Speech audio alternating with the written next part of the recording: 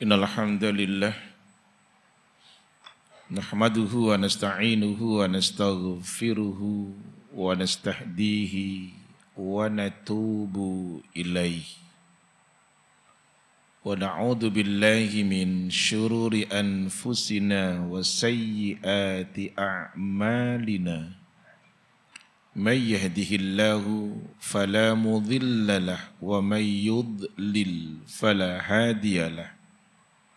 أشهد أن لا إله إلا الله وحده لا شريك له وأشهد أن محمدا عبده ورسوله صلى الله عليه وسلم وعلى آله وأصحابه أجمعين ومن تبعهم بإحسان إلى يوم الدين.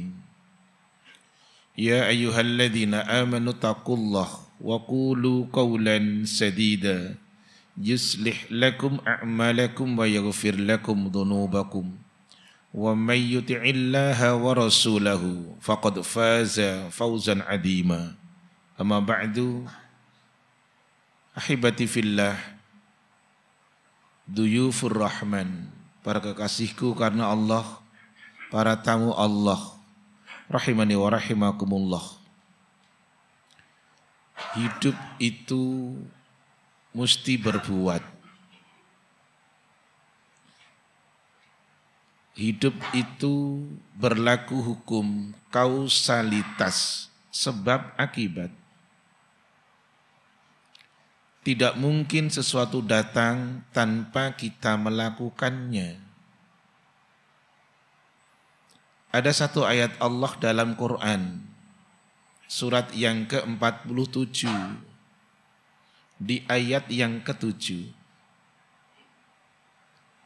dengan awalan yaitu Ya ayyuhalladzina amanu In tansurullaha yansurkum wa yuthabbit aqdamakum.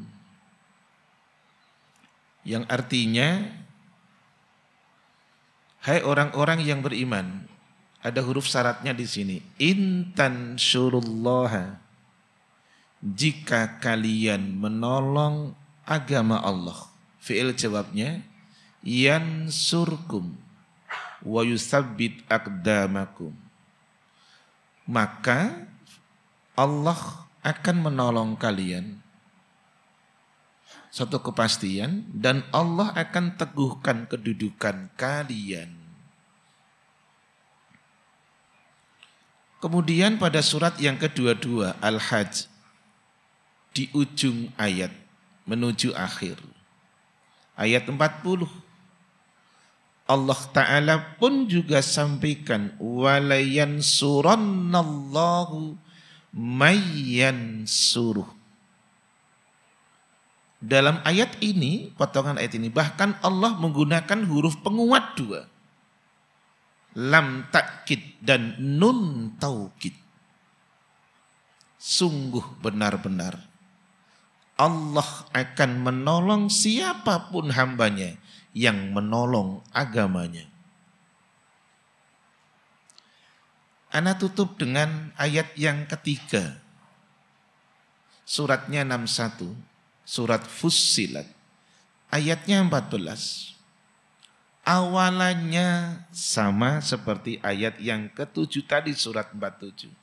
Ya ayyuhalladzina amanu kunu ansarallah Kama qala Isa bin Maryam lil hawariyin man ansari ilallah.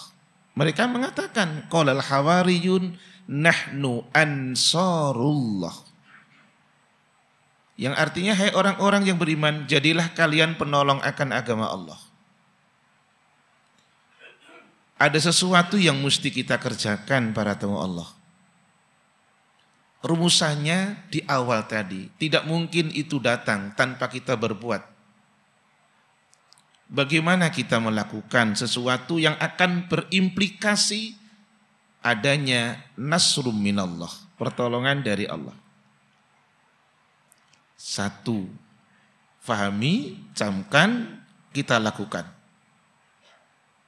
adalah al-mubadaratu. Padanan katanya al-musara'atu ila ta'ati wa amalil khairi. Ini kekuatan kita. Ini adalah yang mesti kita lakukan. Tidak bisa tidak. Segera menuju ketaatan. Segera menuju amal yang baik. Kalau orang mengatakan ada istilah harga mati, taat ke Allah itu juga harga mati. Tapi indahnya Islam, saya katakan, indahnya Islam, bagusnya Islam, Allah Ta'ala menggunakan kalimat yang indah seperti ini. Fattakullaha mastata'tum. Surat 64 ayat yang ke-16. Taatlah kalian ke Allah Takwalah kalian ke Allah menurut kesanggupan kalian. Ketaatan harga mati, tetapi pada pelaksanaannya, pengejawantahannya tergantung kekuatan masing-masing. Taat itu mengikuti beliaunya. Taat itu mengikuti orang yang dipilih oleh beliaunya. Gitu, anak ulang kata itu. Taat itu mengikuti apa info dari beliaunya Allah Ta'ala. Dan taat itu juga mengikuti manusia yang dipilih oleh beliaunya. Kenapa demikian? Anak tunjukkan satu hadis. Di dalam kitab Arba'in hadis ini nomornya sembilan. dari Abu Hurairah sahabat beliau radhiyallahu anhu Rasulullah SAW sampaikan tinggalkanlah apa yang kularang untuk kalian lakukanlah apa yang kuperintahkan untuk kalian? Menurut kesanggupan kalian. Saya bacakan Arabnya sekarang untuk poinnya. Fa innama ahlakal ladzina min qablakum su'alihim wa ala anbiya'ihim. Kebinasaan, kehancuran orang-orang sebelum kalian itu ternyata Rasul sampaikan banyak tanya yang tidak manfaat. Tapi ada satu hal lagi, menyelisihi akan para nabi mereka sementara keberadaan mereka keberadaan Rasul dalam Quran surat yang keempat ayat yang ke-64. Wa ma arsalna rasulin illa liyuta'a biiznillah. Tidak kami mengutus siapa pun rasulnya melainkan untuk ditaati. Taat itu cinta saudaraku. Taat itu adalah buah dari cinta. Karena seorang penyair Arab mengatakan, "Laukana hubbuka sadiqa la'ata'tah." Kalau benar cintamu itu jujur, sahih, benar, jujur, la'ata'tah, pakai lam takkid, kamu pasti akan taat dengan dia. Inilah solving yang pertama. Negeri ini akan diberikan jalan keluar solving dari Allah makhrajan dari Allah. Ini yang pertama. Saya senang ketika diinfokan berapa yang sakit berapa yang meninggal mari kita pakai maaf 5M 3M macam-macam.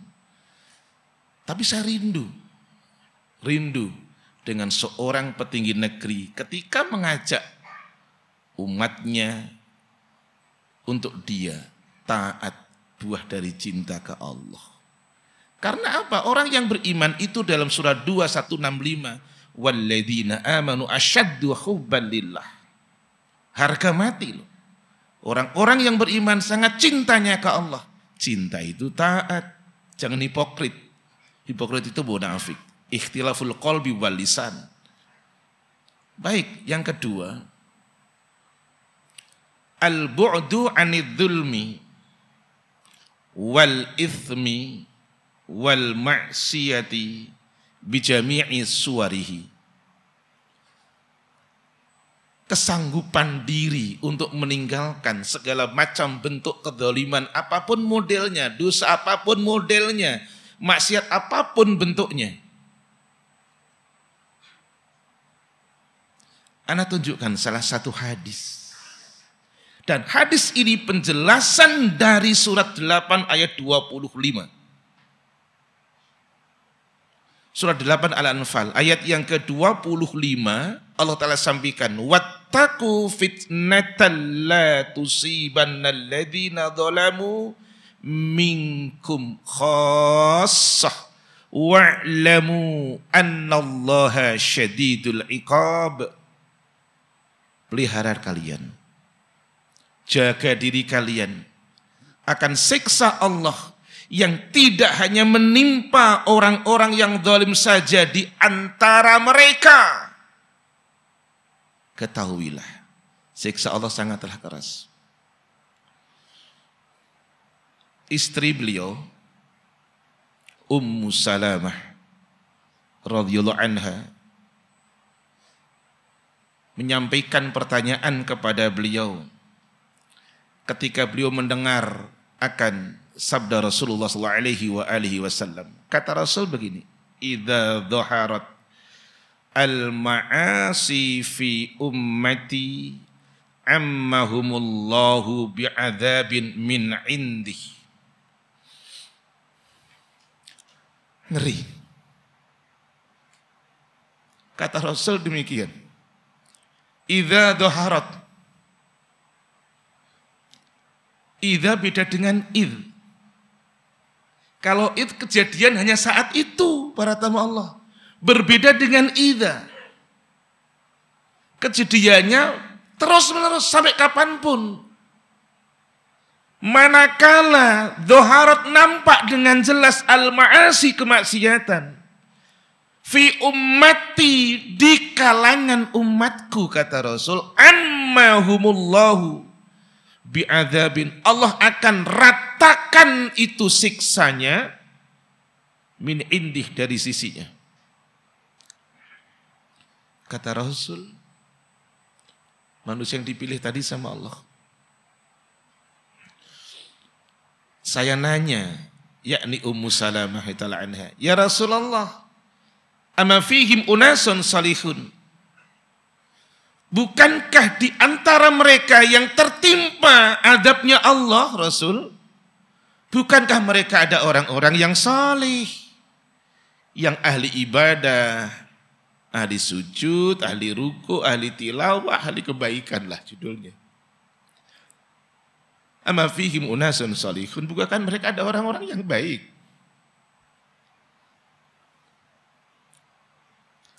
Kal Rasul menjawab, Bala, iya tentu.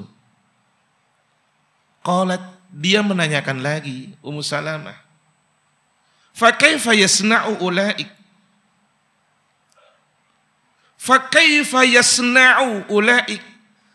Bagaimana nasib mereka?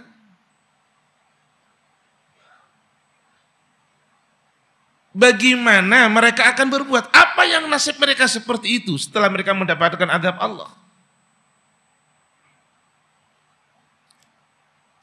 Rasul sampaikan, yusibuhum ma asoban nas. Allah akan timpakan kepada mereka sebagaimana Allah timpakan kepada manusia yang lain. Summa yusiruna ila maghfirati minallah wa ridwan. Tetapi nanti di akhir mereka akan mendapatkan ampunan dan ridha Allah. Saudaraku, nanti di akhir di dunianya podo kelengeri. Di dunianya podo celokoni. Sama. Tetapi tentu membahagiakan. Summa yasiruna ila maghfirati minallah wa ridwan. Aqulu qawli hadha wa astaghfiru wa lakum wa risa'il muslimin wal muslimat innahu huwal ghafurur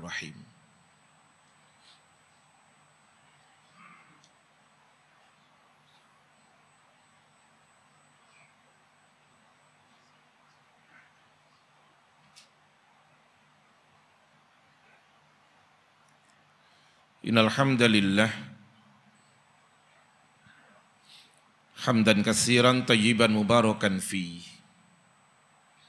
kama yuhibbu rabbuna wa yardha asyhadu an la ilaha illallah wahdah la syarika lah wa asyhadu anna muhammadan abduhu wa rasuluhu sallallahu alaihi wasallam wa ala alihi wa ashabihi ajma'in wa man tabi'ahum bi ihsan ila yaumiddin Ana ulang tadi ketaatan kepada dia harga mati. Mengikuti manusia yang dipilih oleh dia juga harga mati.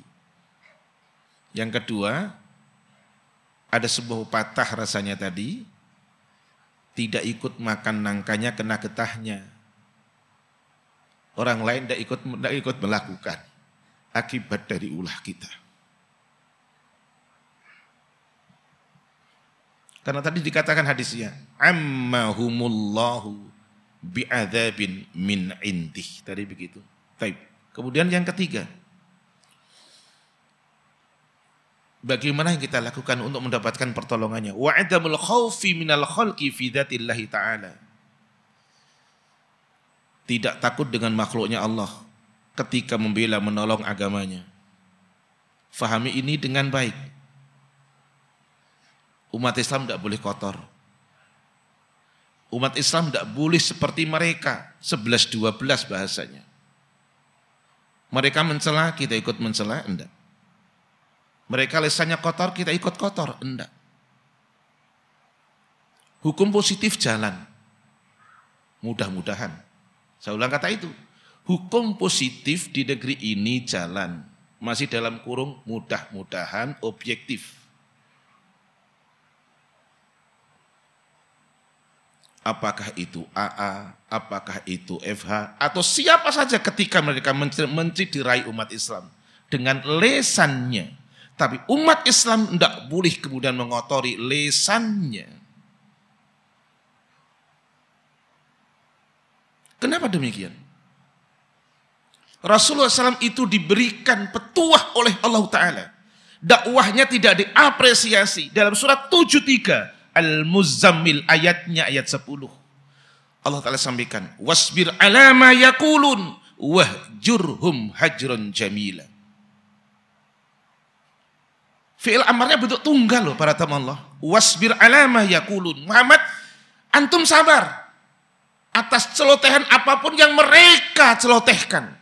Yang mereka katakan. Wahjurhum hajron jamila. Tinggalkan mereka Muhammad dengan cara yang cantik. Anak tutup dengan dalil kedua surat 25 ayatnya 63 di ujung ayat 63. Dan di dalam tafsir Ibnu Kasir ini adalah merupakan sifat-sifat Allah, sifat-sifat hamba Allah yang mukmin. Makanya awalnya berbunyi wa ibadur rahman. Bentuk jamak tunggalnya abdun jamanya ibadun. Hamba-hamba Allah yang Allah muliakan menurut ayat ini. Alladzina yamshuna 'alal ardi hauna. Orangnya tawadhu rendah hati. Tidak sombong, tidak congkak, tapi endingnya wa idza khatabahumul jahiluna qalu salama. Apabila mereka orang-orang yang jahil berkata dengan bahasa ungkapan yang jahil, mereka orang yang beriman, mereka ibadur rahman, tutur katanya tetap baik, mengandung keselamatan. Kita berdoa mudah-mudahan Allah akan berikan solving, jalan keluar terbaik kepada kita, tapi dengan kita melakukan. Inna Allah wa malaikat yusalluna nabi ya ayyuhalladzina amanu sallu alaihi wa sallimu taslima. Alhamdulillahi rabbil alamin. حمد الشاكر حمد الناعمين حمدا يوافي نعمه ويكافئ مزيده يا ربنا لك الحمد. اللهم صل على محمد وعلى آله وأصحابه أجمعين. ربنا ظلمنا أنفسنا وإن لم تغفر لنا وترحمنا لنكونن من الخاسرين. ربنا لا تزغ قلوبنا بعد إذ هديتنا وهب لنا من لدنك رحمة إنك أنت الوهاب. ربنا ربنا اغفر لنا ولوالدينا وللمؤمنين يوم يقوم الحساب. اللهم inna nas'aluka ilman nafi'a wa rizqan tayyiba wa amalan mutaqabbala Allahumma inna nas'aluka imanan kamila wa yakinan sadiqa wa lisanan dhakira wa qalban khashi'a wa rizqan wasi'an halalan tayyiba. Rabbana atina fid dunya hasanah wa fil akhirati hasanah wa qina adzabannar. Walhamdulillahi rabbil alamin. Aqimissalah.